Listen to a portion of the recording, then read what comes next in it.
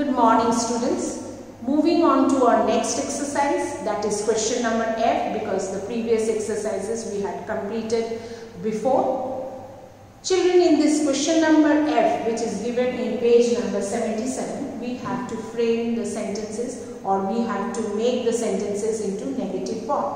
As we know that sentences can be affirmative, negative or interrogative. Negative sentences are those sentences where we use no, not, never. We have studied before that when we are uh, framing sentences in a negative form, we use do not or does not in present tense.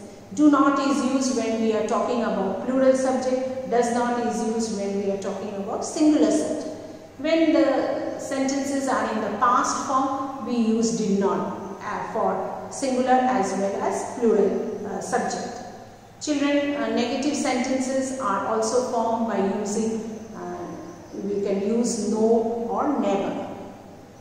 Children, negative sentences can be also formed when we use is not, was not, am not uh, or was not, were not in this way.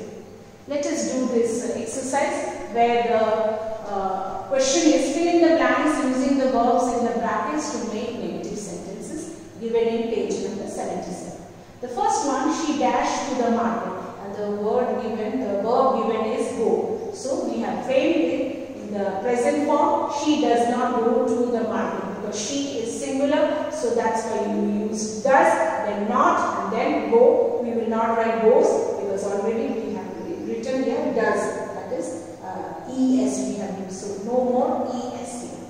Coming to the second one, that is not made by me, but the verb is made. Now here why we have used made, M-A-D-E, made? Because you say that is not made by me, already made. You cannot say that is not made by me.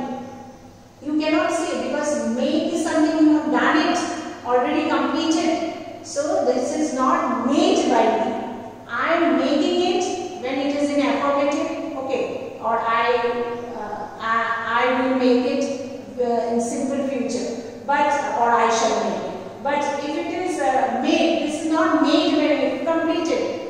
You cannot say made, you have to use M-A-D-E made. Coming to the third one, we dash before sunrise and the verb given is leave, L-E-A-V-E. So we, uh, plural, so here we will use we are not leaving. We are not leaving before sunrise because uh, continuous and it is in negative form. Uh, this is present continuous tense in negative form. We are not leaving. L-E-A-V and then I-N-G. Omit E. Coming to the fourth one, they dash dinner and the verb given here is have. Okay. And here we have written they are not having. Are again because they are many so are and then negative word uh, not having H-A-V-E but when we are writing in continuous H-A-V-I-N-G. We are not having dinner. Number 5 Stephen will dash soon and come. So will is already mentioned that is future. So we just have to use not come. Will not come soon. In future is not coming soon. Number 6 the children are not uh, running uh, after the dog and the verb as you can see it is given run. So children are many so are not and then run becomes running because it is in present continuous tense in negative form. So run, and run but when I add ing I have to double it N-N-I-N-G which we have discussed before. Number 7 the guest dash for a week and that is are not staying. So they are not staying for a period of time. So uh, guests are many so are not staying S-T-A-Y-I-N-G staying for a week. Coming to the eighth one, some babies do not like milk. Okay, here we have used do not because babies are many. Babies are many, so we say do not like. Uh, do not because babies are the subject is plural form. Do not like milk. Number nine, Srinivasan, uh, Srinivas dash a boring story. And the verb given is read.